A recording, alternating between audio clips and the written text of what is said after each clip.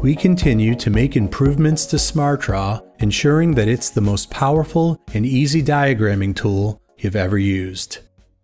In the template dialog, you can now drag and drop files and folders into other folders. You can do this both in the main work area and over here in the left-hand pane.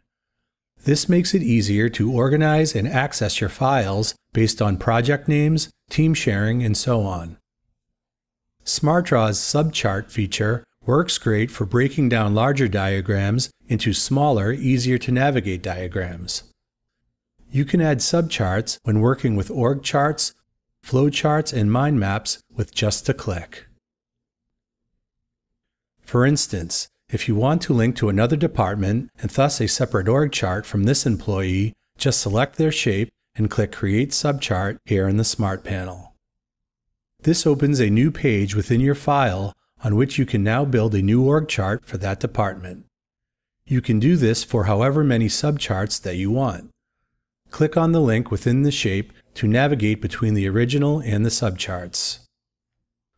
You can also click on the page tabs up here to navigate the subcharts. Right-click on a tab to rename it. Or click here to manage pages. Here you can change the order that the page tabs appear. This doesn't affect the links that you've added to your diagram.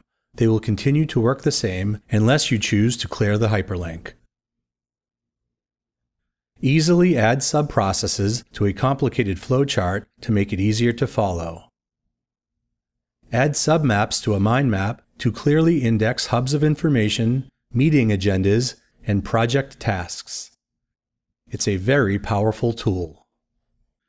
In addition to these enhanced diagramming features, SmartDraw has added Microsoft OneDrive for Business and Microsoft SharePoint to our group of third-party storage integrations. Start enjoying these helpful improvements to SmartDraw today.